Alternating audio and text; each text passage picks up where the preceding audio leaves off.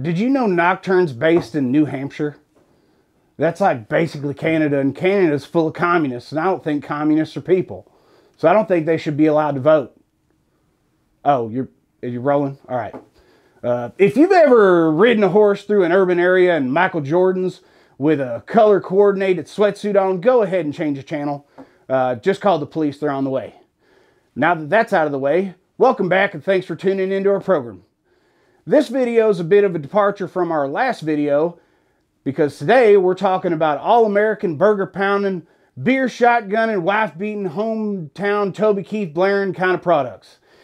These are about as American as Dale Earnhardt drinking and driving, regime changes, fiat currency, stone cold Steve Austin, or that fishing trip I went on last week with my best friend Jack Twist. I miss you, Jack. Uh, today we're going to be talking about the Katana R. R stands for ruggedized because they're made out of metal or something.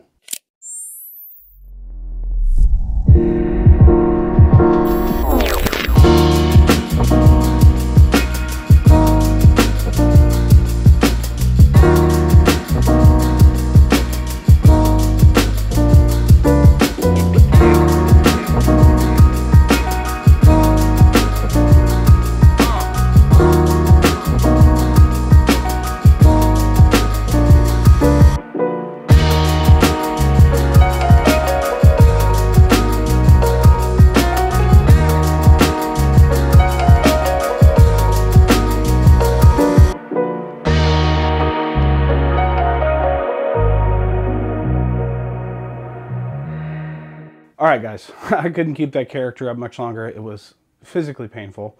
Um, pick up where I left off. We're talking about the Katana R. This is a new housing that is becoming available shortly.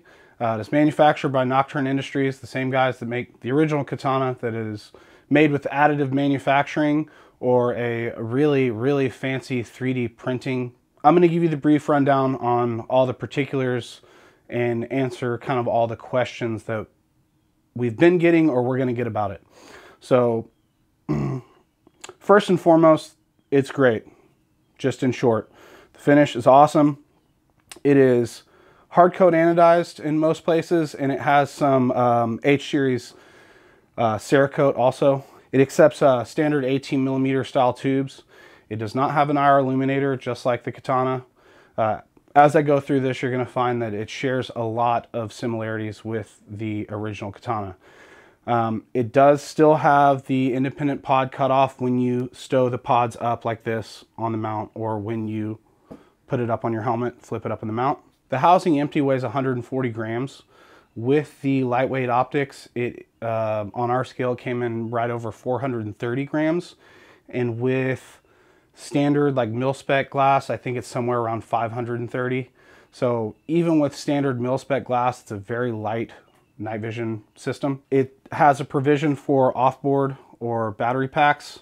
It still uses the CR123 onboard with the your full power control right here and the battery cap just like a flashlight.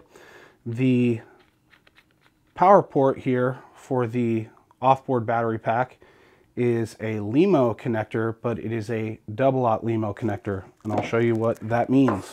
So this is the original LEMO connection that a lot of night vision houses utilize. This is the double-aught LEMO. It is smaller. Um, I'm not sure what advantage this provides, but the overall connector is a little shorter. The diameter of the connector is smaller. It's still a four pin we have these available on our website so you can use them with the Nocturn Bat Pack or uh, any of their iterations of battery pack. And um, you can actually, because it's Fischer on the other side, you can plug this into an Argus battery pack or a 31 Alpha battery pack, whatever you already have that accepts a Fischer connector on the battery pack side. So, um, one of the thing, one of the features that the Katana R has offers over the original Katana is it has a low battery indicator in it.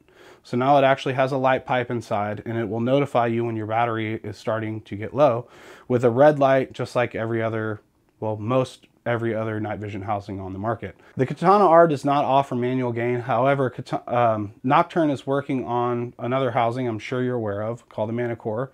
Um, if you just absolutely have to have the strength of uh, aluminum construction, there will be an option soon. Um, I personally like the form factor of the Katana R. I'm really looking forward to the Samurai, but this one's super cool too, just because it's simple. There's, I mean, it's on off. There's not a whole lot to it. There's nothing to mess with. Pod cut off. I mean, it's, it's just a good housing. The warranty, just like the original Katana, is lifetime. So that's awesome. Really hard to beat. uh, again, I don't have too much else to say about this. Oh, the IPD system, okay? Just like the original Katana, it works with the um, little cam system here and the force to overcome to set your uh, desired interpupillary distance. It is, just like the original Katana, uh, tension adjustable at the user level. So turning these two inboard screws here on the back of the bridge will adjust the tension or the amount of force you have to put on these pods to move them and to interface with the IPD system.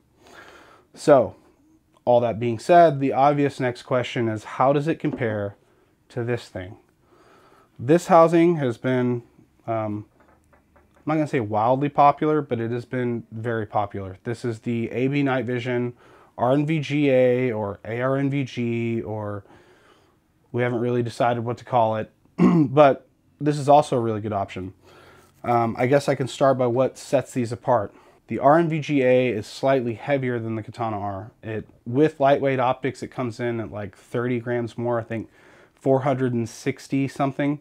Uh, don't quote me on that, but it should be pretty accurate. I don't know the weight with mil-spec optics off the top of my head, but I'm sure they're posted on our website. So if you have to know that, go check it out. The RNVGA does include an IR illuminator where the Katana R doesn't.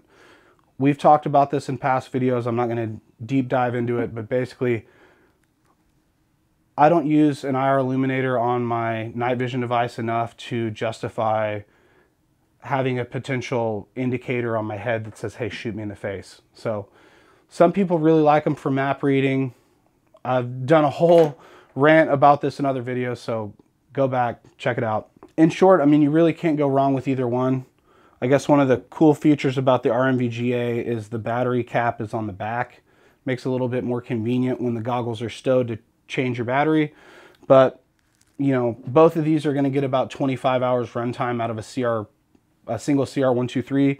And with a battery pack, I mean, 60, 80 hours. So how big of a deal is it that you have to change the battery and like how convenient that is? I don't know. That's for you to decide. Um, one of the things I like on the Katana R over the RNVGA is where your retention system interfaces with the goggle. On the RNVGA, and I've been consistent on this since the first time I saw one of these, I don't like these little bosses here. I feel like um, it's kind of clumsy. I bang my knuckles on it every time I use one of these. But again, that's personal preference. Really, the the reason I don't like them so much is when you have a lot of tension on your uh, lanyard system and you go to bring these goggles down from being stowed, sometimes it will pull these pods in directions that you don't necessarily want them to go until you fix your interpupillary distance where you want it to be. With the katana, just like the original katana, um, your lanyard interface is right here on the back of the bridge, so it does not interfere with the uh, pod's interpupillary distance at all. I think that's about all I have to say about it right now. Um, I know we have some housings coming in soon. I don't quote dates when we're talking about Nocturn products because I don't know when they're going to be here, but I know that it's going to be relatively soon. So keep an eye out on our social medias. Go follow our Instagram. That's probably going to be the easiest way to keep up with what we're doing every day. Uh, we all try to put stuff in the stories or make posts regularly. As always, please like, share, and subscribe to our YouTube channel. It really helps us get all this information out to more people that might want to see it. Um, thanks for watching. Dude, have I told you about my theory on Dick Cheney? Dude, I'm pretty sure, pretty sure, I have it like on good authority that he actually shits out intensifier tubes. He, he lays them like eggs. Dude, I said something about this on Reddit. And now, like, I can't go anywhere without a DHS and CIA escort. So, I mean, it seems pretty legit. That way, there's like black SUVs outside all the time. Yeah. Yeah.